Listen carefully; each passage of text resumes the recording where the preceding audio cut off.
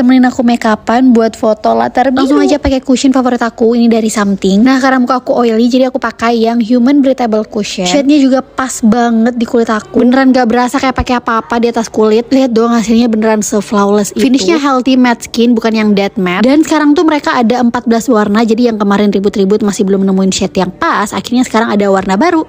Lanjut aku pakai loose powdernya juga dari Something yang oil control. Nah sebelum dihapus ini aku ngalis dulu. Habis itu baru deh dihapus. Ini juga hasilnya bagus banget flawless. Aku pakai seharian bener-bener anti minyak pokoknya. Nah lanjut tadi aku conceal alisku dulu. Habis itu lanjut ke eyeshadow, mascara. Habis itu pakai eyeliner, blush on, highlighter. Dan terakhir nggak lupa ombre lipsnya. Dan ini dia hasilnya. Aku cinta banget sama complexionnya. Lihat dong ini kayak pakai filter Paris nggak tuh? Nah setelah make up langsung aja aku ke studionya buat foto ditemenin sama adik dan ibu aku. Tegang banget nggak tuh bestie? Nah setelah foto-foto kita lihat-lihat dulu fotonya, pilih yang bagus yang mana. Dan selesai deh, seneng banget sama hasilnya. Ini juga aku sekalian cek-cek makeup aku, tapi lihat dong nggak ada yang crack sama sekali. Thanks to cushion dan powder something, bener-bener nyaman banget deh aku pakai seharian.